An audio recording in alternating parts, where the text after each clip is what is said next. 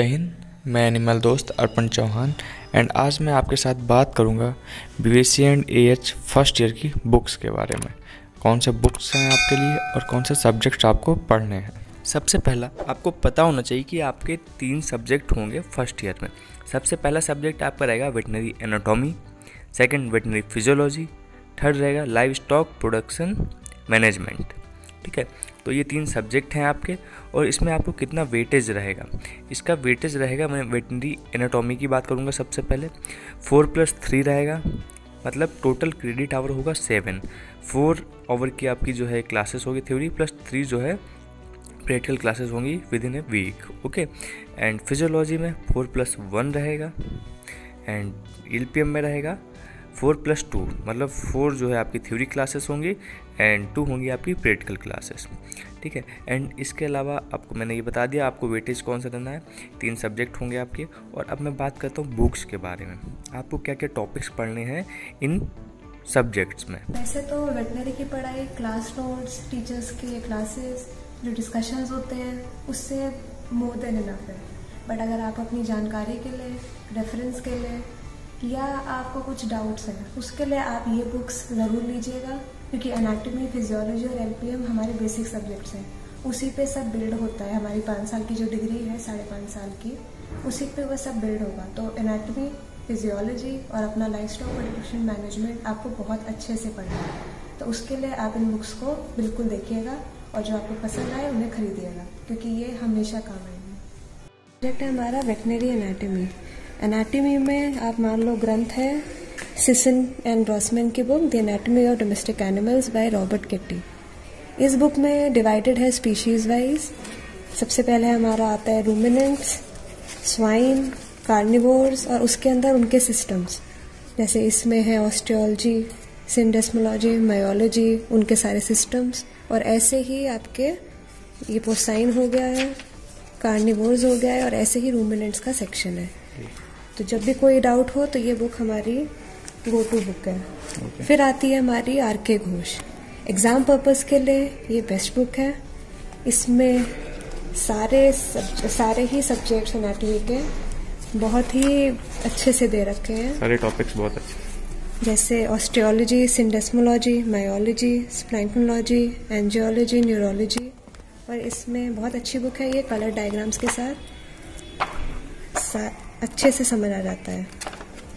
Second book भी इसकी embryology और उसकी जैसे बताया हुआ है। इनमें इसके पास एक और बुक है सेम ऑथर की है वेटनरी हिस्टोलॉजी और एम्ब्रोलॉजी उसके लिए भी ये बेस्ट बुक है। ब्रीफ में अच्छे से सारे टॉपिक्स कवर करे गए हैं। ये फॉरेन ऑथर की बुक है veterinary anatomy by Dyce Sack and Wensing ये बुक आपको डायग्राम्स के साथ बहुत ही सिस्टमेटिकली आपको टॉपिक समझाती है। इसमें भी सेम वाइज डिवाइडेड है। फिर हमारा वेटनरी एनाटमी के बाद आता है वेटनरी एम्ब्रियोलॉजी ये एनाटॉमी का एक सब पार्ट है। इसमें दो बुक्स हैं veterinary embryology by McGeady and veterinary developmental anatomy Indian author की है टी एस चंद्रशेखर राव की। ये बुक्स डायग्राम्स के साथ पूरी डेवलपमेंटल एनाटॉमी सिखाती है, जो हमारा एक कोर्स का पार्ट है वेटनरी एनाटॉमी का। ये दोनों बुक्स बहुत अच्छी हैं। लास्ट पार्ट है वेटनरी एनाटॉमी का वेटनरी हिस्टोलॉजी ये बुक है डेलमन एंड ब्राउन की। ये बुक हर वेटनरी कॉलेज में यूज़ करी जाती है। और इसमें सेल्स उसकी एनाटॉमी बहुत अच्छे से बताई हुई है। और बुक हम चूज़ करते हैं कि आपको कौन सी लैंग्वेज की बुक अच्छी लगती है? फॉरेन आथर की बुक आपको अच्छे से समझ में आती है या इंडियन आथर की? ठीक है इससे आपको डिसाइड करना है कि आपको कौन सी बुक आपके लिए बेस्ट रहेगी। सारी हो गई ये एनाटॉमी की बुक्स अब हम चलते हैं फिजियोलॉजी की तरफ़। अब हम आते हैं हमारे सेकेंड सब्जेक्ट फ़र्स्ट ईयर के जो है वेटनरी फिजियोलॉजी फिजियोलॉजी की बात है और ड्यूक्स का नाम ना हो ये हो ही नहीं सकता।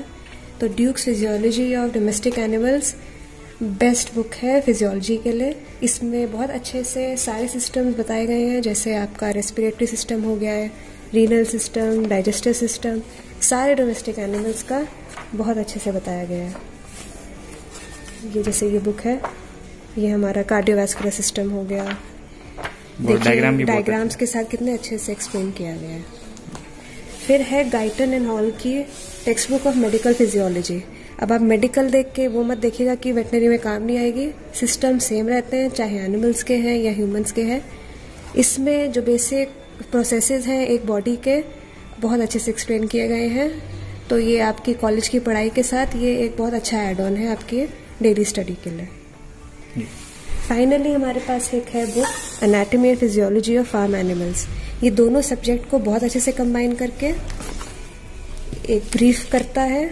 और आपको एक फुल इमेज देता है बॉडी में क्या एनाटमी है और कैसे प्रोसेस होते हैं। ये प्रैक्टिकल एस्पेक्ट बताता है एनिमल्स का और उनके बॉडी प्रोसेसेस का।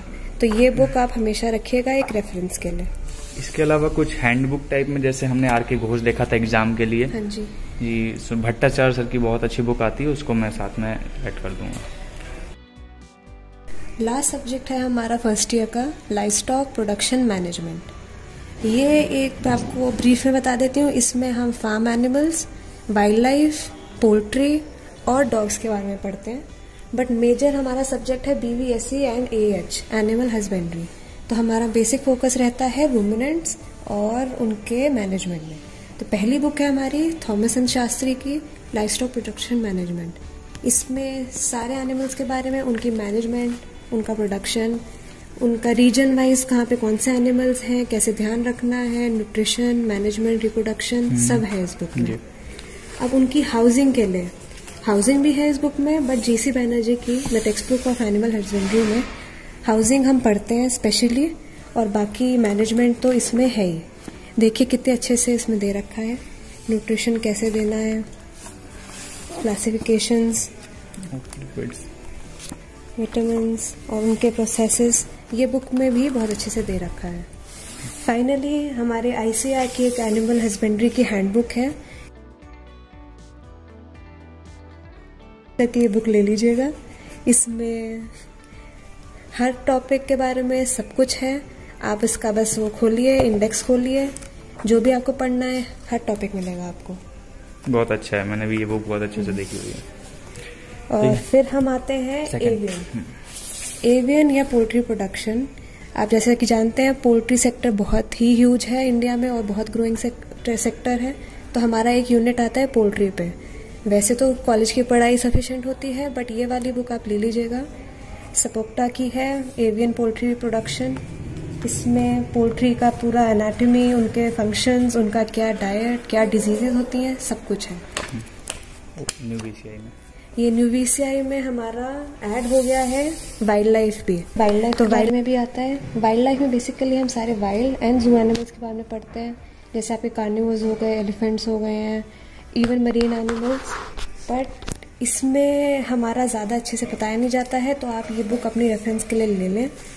इसमें सारे वाइल्ड एनिमल कहाँ रहते हैं, उनकी एनाटमी कैसे उनको रिस्ट्रेंट करना है, और उनका, क्योंकि वाइल्ड एनिमल्स को रिस्ट्रेंट करना ही सबसे बड़ी चीज़ है।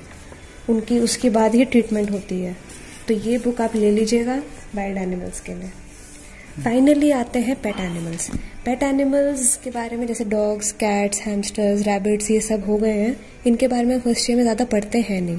इसमें ज़्यादा हम जब फाइनल ईयर और फोर्थ ईयर में आते हैं तभी हमारा डिस्कशन होता है क्लिनिक्स में। बट आप अपनी नॉलेज के लिए कुछ बुक्स हैं जैसे all about all about dogs by Y P S Dabas ये ले लीजिए। इसमें आप उनकी केयर मैनेजमेंट कौन सी ब्रीड्स हैं, ये आप अपनी नॉलेज के लिए बिल्कुल पढ़िए। वैसे तो वेटनरी की पढ़ाई क्लास नोट्स टीचर्स के क्लासेस जो डिस्कशंस होते हैं, उससे मोर देन इनफ है। बट अगर आप अपनी जानकारी के लिए रेफरेंस के लिए, या आपको कुछ डाउट्स हैं, उसके लिए आप ये बुक्स ज़रूर लीजिएगा, क्योंकि एनाटमी फिजियोलॉजी और एलपीएम हमारे बेसिक सब्जेक्ट्स हैं। उसी पे सब बिल्ड होता है, हमारी पाँच साल की जो डिग्री है, साढ़े पाँच साल की, उसी पे वह सब बिल्ड होगा। तो एनाटमी फिजियोलॉजी और अपना लाइफ स्टॉक प्रोडक्शन मैनेजमेंट आपको बहुत अच्छे से पढ़ना है। तो उसके लिए आप इन बुक्स को बिल्कुल देखिएगा और जो आपको पसंद आए उन्हें खरीदिएगा, क्योंकि ये हमेशा काम आएँगे।